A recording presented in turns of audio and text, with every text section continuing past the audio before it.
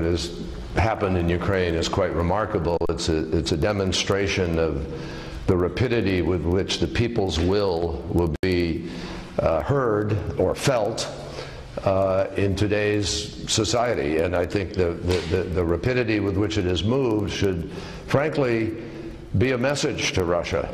And uh, Mr. Putin should listen carefully to Ukrainians who have voiced their desire for change. That's number one. Number two, uh, the, the, President Putin, in a telephone conversation with President Obama just the other day, committed to respect the territorial integrity of uh, Ukraine.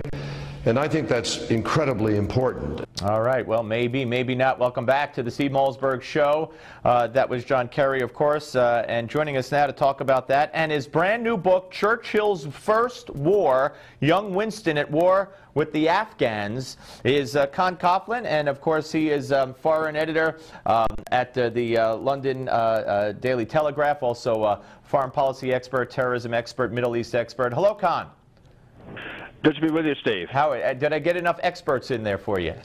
oh, just enough. Okay, cool. All right, now, in addition to what Kerry said, we, we had Chuck Hagel today um, telling Russia, that, or urging Russia, I guess is the word they're using, uh, not to take any action on Ukraine that might boost tensions or be subject to misinterpretation. Of course, now we have reports Russia is massing uh, uh, military exercises on the border with Ukraine. Um, they're harboring the uh, former president who claims he's still president of Ukraine. Where are we headed with this?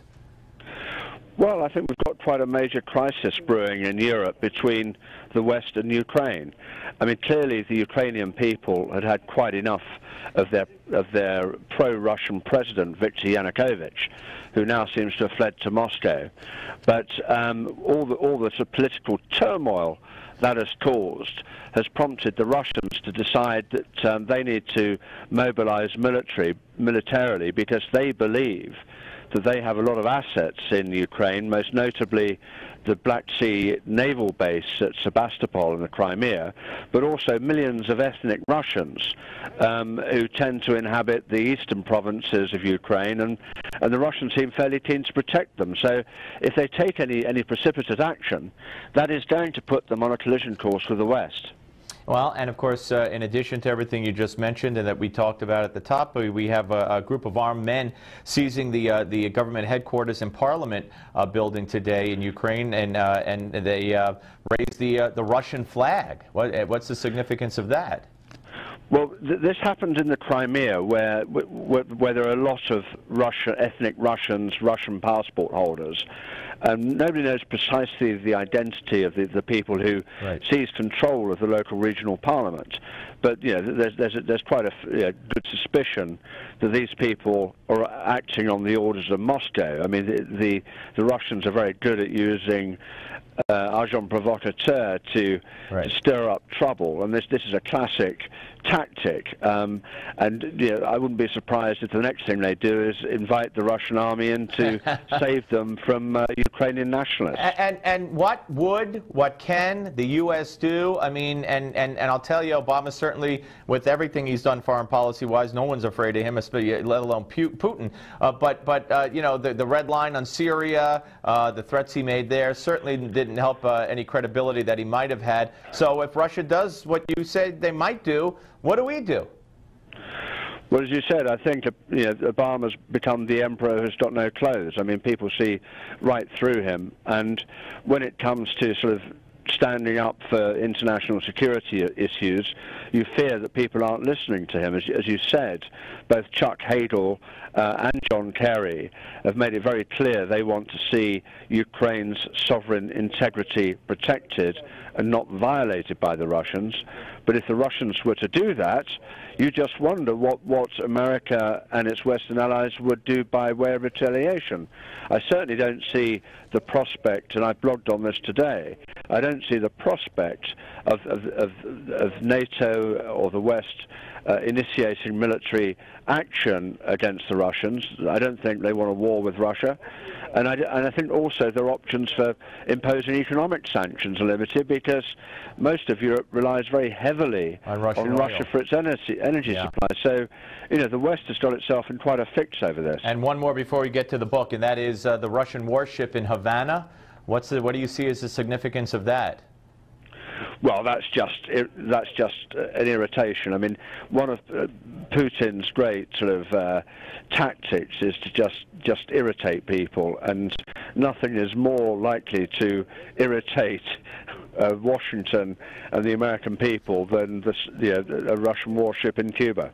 Yeah, okay. Um, let's move on to the book, Churchill's First War, Young Winston at War with the Afghans. Con Coughlin is the author. Uh, so what made you undertake this uh, piece of work? Well, basically, I was, you know, I've been covering the, the, the, recent Afghan mission for the last few years. In fact, I covered the, the, the Soviet invasion many years ago, so um, you know, I followed Afghanistan for many years. And when I was interviewing uh, General David Petraeus, he pointed out that you know when he when he was devising his plan to deal with the Taliban, he was rereading Winston Churchill's account of his war, uh, his first war, hence the title of the book, fighting the great great grandfathers of the Taliban in the 1890s. And it's just amazing, Steve, how history repeats itself. There was Churchill at the age of 22 fighting um, the very same people that we are fighting today, and it seems that no lessons have been learned. Yeah, and, and, and why is that? I mean, we, we, we fought, though, the, you know, the very same people, uh, uh, we're fighting them now. As you said, Russia went in there and, and, and fought the very same people that, that we're now fighting, and now, as you say, we're fighting them now, and, and along with our, our allies. So why, has, why hasn't uh, any of our, these countries learned from, from history? Well, I, I think people dive into these conflicts without without giving proper consideration of what's gone before. And it's only when they're in the middle of, of, a war they suddenly pick up the history books and say, "Oh my God, is it really like this?" And, and certainly General Petraeus, who was a very thoughtful soldier, um, and was brought in basically to turn the mission around um, four or five years ago now, and so he, he he he wanted to educate himself, and he went right back to basics. And as I said, he thought that Churchill's experiences in the 1890s were, uh, had resonance, were valid for today's conflict. Um, and, and so, as I said, when he was working out how to deal with the Taliban, he was sort of trying to learn the lessons that Churchill um, wrote about uh, more than 100 years ago. How did, how did uh, uh fighting uh, in that war, how did that shape uh, the man or, or shape the young man into the man we came to know uh, and we study in history uh, as Winston Churchill? Well, Winston Churchill was a very young uh, officer in the British Army. He was a second lieutenant in a cavalry regiment. He was straight out of military academy. And like a, lot of young men of, of, that age, he had a very gung, a very gung-ho attitude.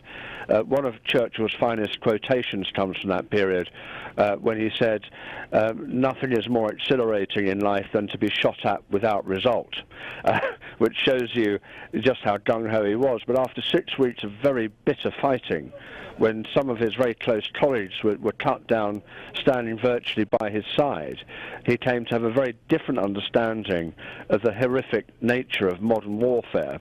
And one of my one of the points I make in the book is that this helped to form his approach as a war leader in many years to come. When sometimes, much to the American commanders' uh, frustration during the Second World War, he wouldn't he wouldn't authorize any action where he thought there would be unnecessary casualties. He was very much aware of just what a bloody bloody and messy business war is.